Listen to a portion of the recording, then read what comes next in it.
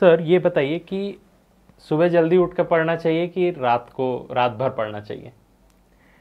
बड़ा इंटरेस्टिंग सवाल है और सारे बच्चों के पीछे रहना, रहता है। हम भी तैयारी करते थे तो मन में जाता था कि अरे, ये क्या? और बात ये है कि हम यहाँ तैयारी करने के साथ साथ हम यहाँ स्नातक और कॉलेज करने, महाविद्यालय भी करने आए थे। तो महाविद्यालय से हमको भी रात में जगने क्या आदत हो चुका था। तो सबसे पहली बात, दिन में पढ़ना चाहिए, रात में पढ़ना चाहिए। ये मैटर नहीं करता है।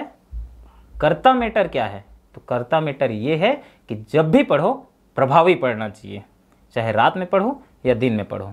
हो सकता है किसी की हैबिट है कि जो सुबह उठ ही नहीं सकता है, उठेगा, फिर भी अगर वो चार घंटा बैठता है, चारों घंटा नींद में ही बीत जाता है। बैठा ज़रूर रहता है, बहुत डिसाइडेड होके पर हाँ इस कंपेयर टू अगर हम ध्यान की दृष्टि से और अगर लगाव की दृष्टि से अगर जाएँ तो सुबह पढ़ना ज़्यादा उचित होता है, ऐसे हमारे धर्मशास्त्र में बोला गया है। और योग की दृष्टि से भी ये बहुत उचित है और होना भी चाहिए, प्रयास भी करना चाहिए।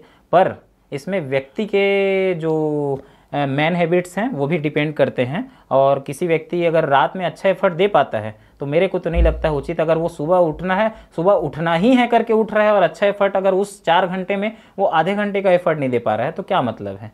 तो इसके लिए विशेष रूप से किसी पे दबाव की आवश्यकता नहीं है। आप जहाँ पे सहज महसूस करते हैं, उस काम को करिए और फाइनली अंत भला तो सब भला। इसका परिणाम होना उचित है।